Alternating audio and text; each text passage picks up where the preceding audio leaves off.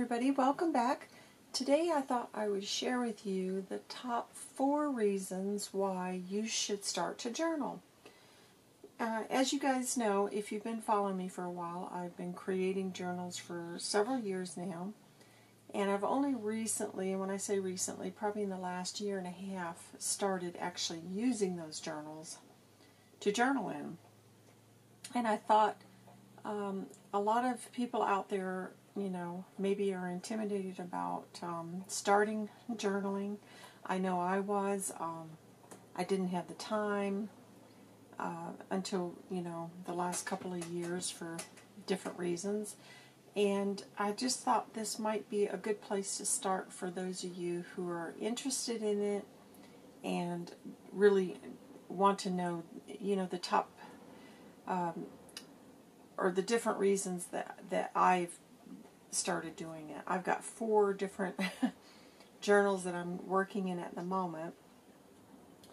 And I've, like I said, I've always wanted to do this because I just love um, when you see a completed journal on Pinterest or maybe somebody's done a flip through on YouTube. I love seeing them when they're packed out, and I like it when they're just kind of a mix of things. It's just so much fun, and I've always wanted to fill my own space with journals that I've done. And so let me just set these to the side and I'll share you with you um, the different journals that I'm working in. Um, this is the first one I would say. Uh, let me just make sure that I am in frame. This is a Traveler's Notebook Journal that I purchased. I did not make this one. And this one is just filled with some um, you know, of the refillable journals. And this one I journal in for my mental health, um, mental clarity. It's just a great place to jot down things. it's kind of a dumping ground for, for my mind. And these are not decorated, you know, decorated or anything like that. It's just purely writing, as you can see. Uh, and I won't share those because they're private thoughts. But I really do feel like this is uh, very, very helpful, um, you know, for people who are going through tough times or just, just generally. It's just a great place to just dump things that have been bothering you or um, just thoughts that you just want to get on a paper. And, um, and then when I've completed those, I'll just uh, probably destroy them because they're they're just private things that I, I really wouldn't want anybody else to to read. It's just for my own, like I said, my own um, well-being, mental well-being. So that's one way, is for mental health or mental clarity. Now another journal that I'm working in. Um, this is just what I would say uh, for documenting uh, life. And this type of journal I'm working in is I'm just um, not necessarily doing it on a daily basis, but at least a couple times a week I'm going through and just adding photos, and um, a little note on something, and then I just play around with it and decorate it a bit. Um, so that's been a lot of fun. Um, here's another page I did. Um, I just thought this was really funny, this little image. I will share a little tip with you guys that I just recently discovered myself. Um, and this is uh, Shutterfly.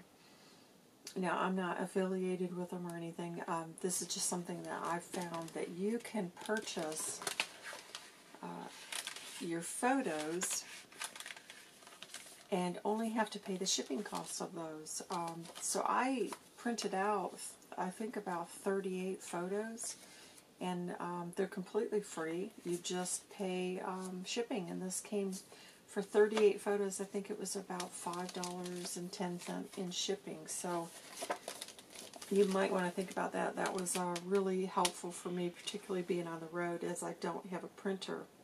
So that's another little service um, that you might want to consider. Um, if you don't have the ability to print your own photos.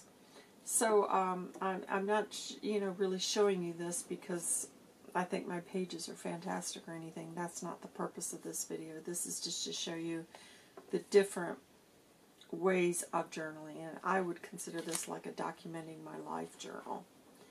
So that's the second reason to journal. Now, a third reason, um, and this is a Margaret Miller, um, it's a Collage Weekly planner. She has a channel on YouTube if you're not familiar with her. This is last year's planner. Um, I've had this for a while, but I've only had the, the opportunity to start working in it. She's got another one this year, but I can't see a lot of difference other than the prompts are probably just slightly different. Um, so, so like week one, um, in this type of a journal, um, this is, I would say it's kind of a challenge type journaling, um, and you don't have to use a planner. She she offers the um, prompts for free, but there's a lot of different people out there that are doing it, so don't feel like you'd have to go with with this particular type. But this is, I just call this like a challenge journal, and you're just using prompts. Um, this one was something fast, a postage stamp, a piece of map, a border or frame, and a portion of a brochure. And a bonus was a form or part of a form. And so that's how I created this page. Um, I've done a few weeks in here, and um, what I think I'm going to do with mine is after I've done the 52 weeks, I'm going to come back and then probably just go over this side with the same prompt. So it's I'll, I'll end up with like two years out of this this planner. So this is what I'm considering a challenge journal. And the fourth journal that I'm actually working in is just a sketch pad. I've had this again for a little while and I just haven't had time. Um, but I just this year started working in this one. And it's not perfect, but I'm enjoying it. This is just to me for artistic expression or just for fun. And that's exactly what I've done. I've just taken bits and just collaged it on here and just really enjoying it. Um, and like I said, I've just started going through probably a couple times a month I work in this one. So between the four journals, it gives me a couple of days each week that I'm working in one or more of the journals. So it's just it's just a lot of fun, um, and what I like about this is I'm doing it for myself. I don't have to be stressed out about um, when I'm making journals for other people. Um, there's just kind of a formula that I go through, and this is just completely like random. And you know, some of them I, I'm happy with, and then others, um, like this particular page, I'm not that crazy about it, but that I think that's part of um, the creative journey.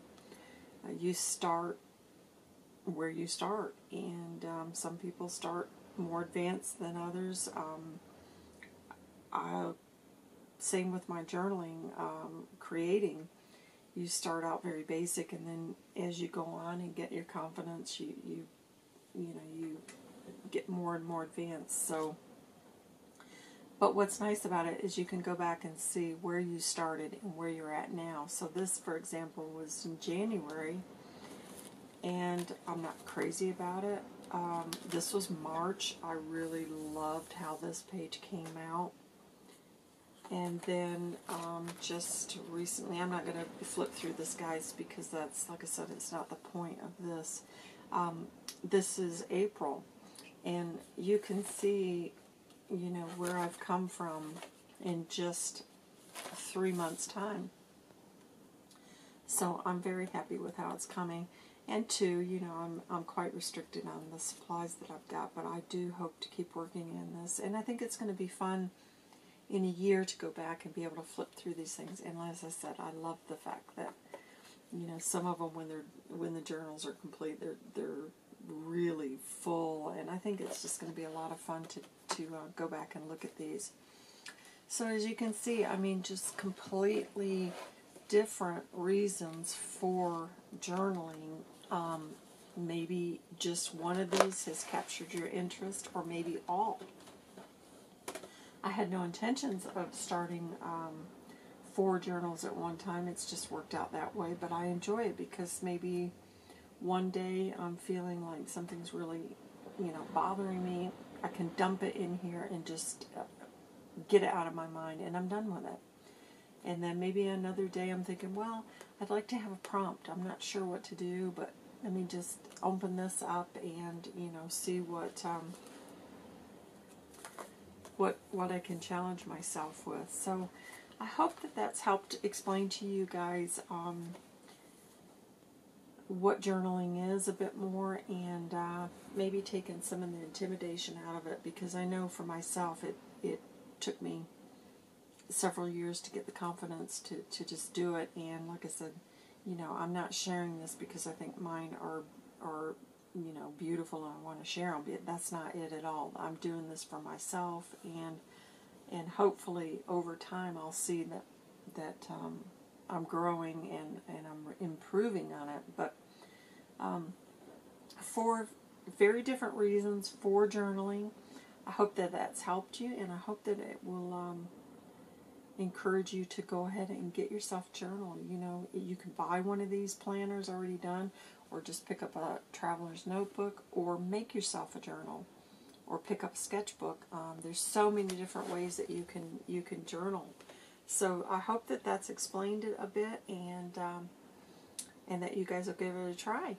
So that's all I've got to share with you today. Maybe one day I'll do a flip through if I feel worthy to share some of the pages with you. But I will, um, I've had a couple of people ask me about my journaling process.